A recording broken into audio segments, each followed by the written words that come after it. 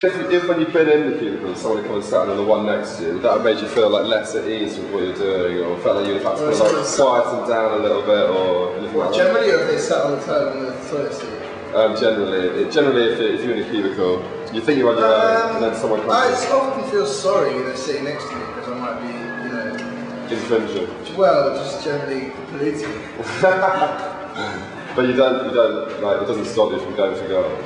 No, no, uh, uh, it's it's generally meditation for me. That's pretty good. I take my time and just like think about things. Yeah, I was gonna say, like, you said you made some phone calls and stuff. In this crazy up and down world, it's the only kind of time alone you really get. Yeah, that's true, yeah. So do you, do, you, do you feel quite comfortable in the cubicle? Like, like a little bit of time away from what you're doing, a little bit of Yeah, you relaxation? know, it's like it's not like a constant. You can sort of, you know, when you go, it's more or less the same, what's same everywhere. You're in the same position. It's it's roughly the same height. And you know the role, and you know what you can do. And you do Yeah. it.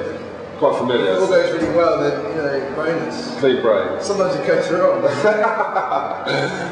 And in that, in that situation, when it goes wrong, it's a, it's a lot It better. stops the whole routine, doesn't it? Yeah, that's right. Yeah, it does. The whole routine just, just more or less fucked. If you're allowed um, to take, if you're allowed one wish or one object to have in with you in your cubicle to make it a more pleasant experience, what would it be?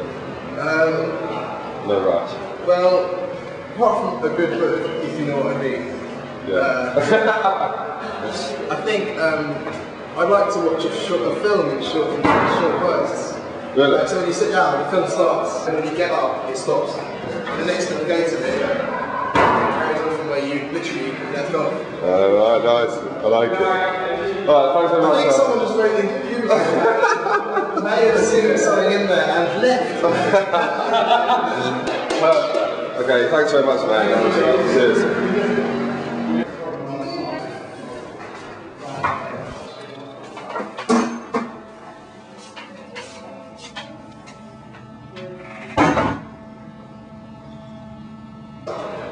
And you watch it for as long as sitting down.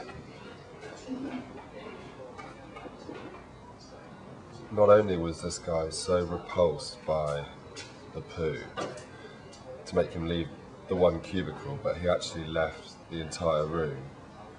So I think I might just claim all the toilets for my own.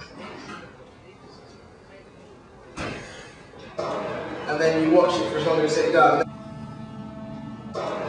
then you watch it for as long as sitting down. And then you watch it for as long as sitting down.